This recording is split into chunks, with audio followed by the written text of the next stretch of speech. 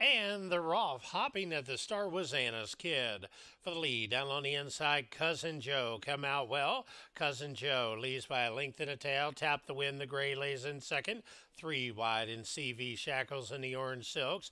Along the inside, Envelope Please sets up shop. Right against the rail, saving the ground to the outside. Anna's Kid is rebounded very nicely. The entire group can be separated by four and a half lengths as they run up the backstretch.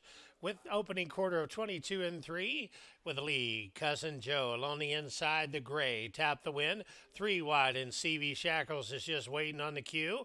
Right behind runners, trying to thread through. That is Envelope Please, and Envelope Please just found a spot and now takes over the third angle to the outside. That's Anna's Kid as they come running into the stretch. With the lead is Tap the Win on the inside, CV Shackles, a half on the board of 46 and 2. It's CV Shackles on the outside, has a head in front, working off the rail. That is Envelope Please, now trying to split runners, but they got CV Shackles, Oscar Villarreal, now moving up to the second spot is Envelope Please to battle it out with Tap the Win, but this race is replaced. It's all CV Shackles. A very impressive performance.